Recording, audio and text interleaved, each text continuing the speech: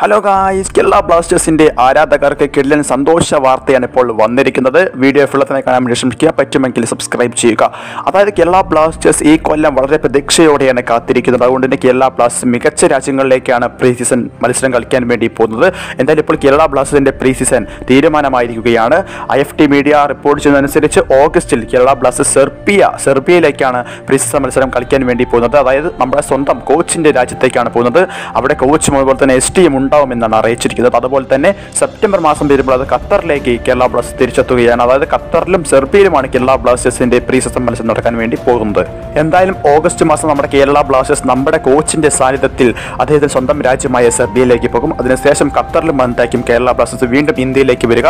എന്തായാലും മികച്ച രീതിയിൽ ഒരു പ്ലാനിംഗ് ആണ് കേരള ബ്ലാസ്റ്റേഴ്സ് മാനേജ്മെന്റ് അതുപോലെ തന്നെ എസ് ടീം എല്ലാം എടുത്തിരിക്കുന്നത് നമുക്ക് ഇതിൽ നിന്ന് വ്യക്തമാണ്. അടുത്തൊരു വാർത്ത എന്ന് പറയുന്നത് കേരള ബ്ലാസ്റ്റേഴ്സ് ഒരു ഇന്ത്യൻ ഡിഫൻഡറിനെ കേരള ബ്ലാസ്റ്റേഴ്സ് നോട്ടം ഇട്ടിരിക്കുന്നതാണ് അറിയാൻ വേണ്ടി സാധിക്കുന്നത് എന്തായാലും ഇദ്ദേഹത്തിന്റെ പേരെന്ന് പറയുന്നത് ദീപക് ദേവരാണി എന്നാണ്. ഇരുപത്തെട്ട് വയസ്സോളം പ്രായമുള്ള ഇദ്ദേഹം ഇപ്പോൾ കളിക്കുന്നത് ഗോകുലം കേരള എഫ് സിയിലാണ് അതുപോലെ തന്നെ കഴിഞ്ഞ കഴിഞ്ഞ സീസണിൽ പതിനാല് അപ്പിയറൻസിൽ നിന്നും നാല് അസിസ്റ്റുകൾ നേടിയിട്ടുണ്ട് എന്തായാലും ഈ ഡിഫൻഡറിനെ ടീമിലേക്ക് എത്തിക്കാൻ കേരള ബ്ലാസ്റ്റേഴ്സ് മാത്രമല്ല രംഗത്തുള്ള നോർത്ത് ഈസ്റ്റ് യുണൈറ്റഡ് എഫ് സിയും ഉണ്ടെന്നാണ് അറിയാൻ വേണ്ടി സാധിക്കുന്നത്.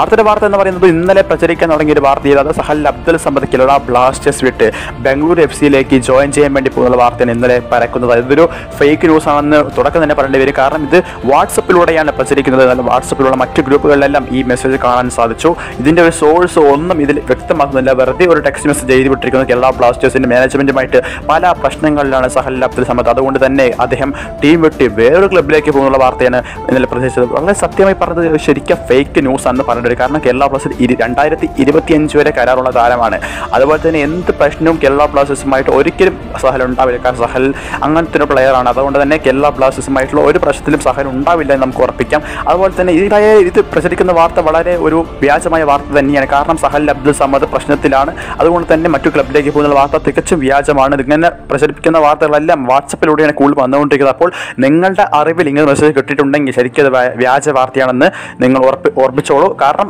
ഒരു ഒരുപാട് ആർദ്ദ ചിലപ്പോൾ ഇത് സത്യമാണെന്നൊക്കെ പ്രതി വിചാരിക്കും ചിലപ്പോൾ ഈ കാര്യങ്ങളൊക്കെ. പക്ഷേ ഇത് ഒരു അടിസ്ഥാന ഇല്ലാത്ത ഒരു വാർത്തയാണെന്ന് പറയും അപ്പോൾ ഇത്രയും കാര്യങ്ങളാണ് ഈ വീഡിയോയുടെ പറയാനുള്ളത്. അപ്പോൾ വീഡിയോ ഇഷ്ടമായ ലൈക്ക് ചെയ്യുക ഷെയർ ചെയ്യുക സബ്സ്ക്രൈബ് ചെയ്യുക ബൈ ഫ്രണ്ട്സ്